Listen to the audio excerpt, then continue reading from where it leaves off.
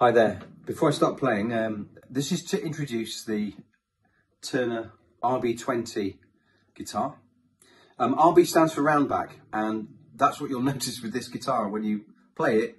Um, it's got a distinct round back. It's probably most evident if I hold it like that. You can just see the contour there. Um, those of you that are familiar with Ovation guitars, obviously they had a, a, a definite bowl um, shape to them. Um, this is less quite there, um, and it's not definitely not plastic backed um, like the Ovations. This is actually lacewood. The sides and the back are lacewood. Not a, not a wood that I'm familiar with, but clearly um, malleable enough to create a back contoured like that.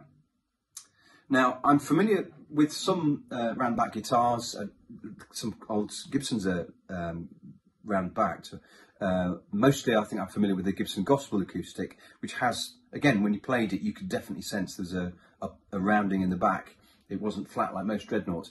And um, that gave uh, a definite sound. It definitely gave it some projection and a different volume experience when you were playing it acoustically. And that's the idea with this.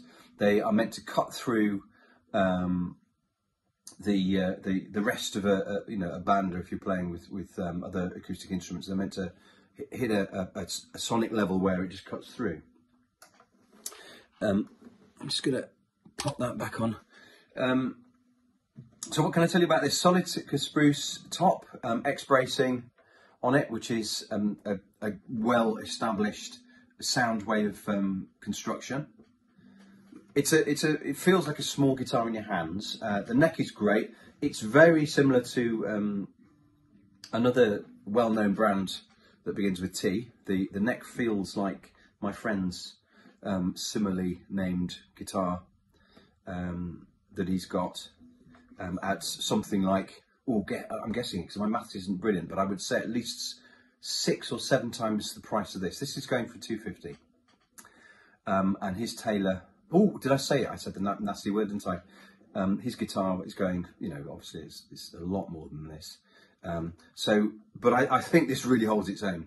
Um, I think this is really good. The beautiful uh, finish um, on the edge, this abalone finish, lots of bits of green in it, which I quite like.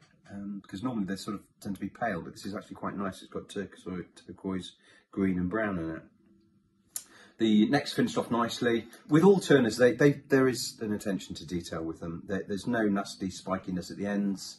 Um, the bone and uh, bone nut and saddle again. It's got a, a, a very ovation-esque, um, and actually Lowden do that as well, don't they? There's a few makers that do that, Avalon I think, as well. Um, that sort of um, string footing.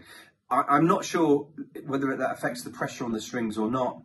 Um, the breaking point on the strings, the angle is slightly different. I don't know whether that makes any difference to the tension really. It plays wonderfully anyway, so actually I don't, I don't really uh, mind that. Um, and I've got it plugged in at the moment because it's got this Belcat um, infinitely variable um, onboard um, EQ system, which sounds great. It's really faithful to the sound of guitar, um, and I think given the size of the guitar, I can imagine you playing this um, live. Um, you know, if you're playing with a band and whatnot, it's a great workhorse for that. it's got a great sound.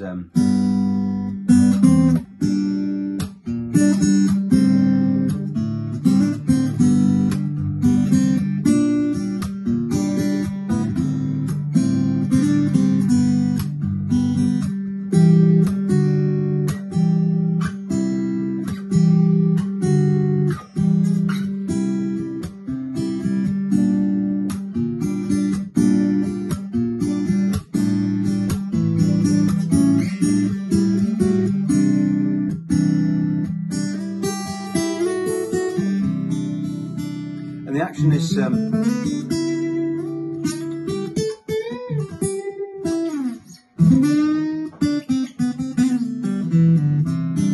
the action is very um, like an electric.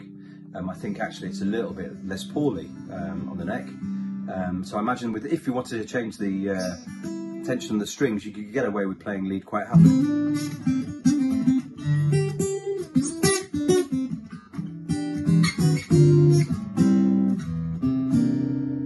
So very comfortable guitar to play. Um, and like all, all Turners, they, they just finish off so well. Really, really nice guitar. Um, I know for Nye at um, the shop is doing a deal on these at the moment. Um, they are great guitars.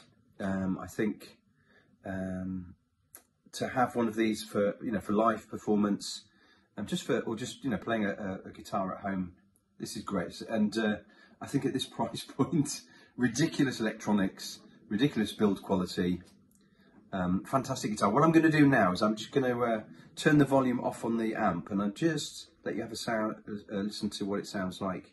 Um,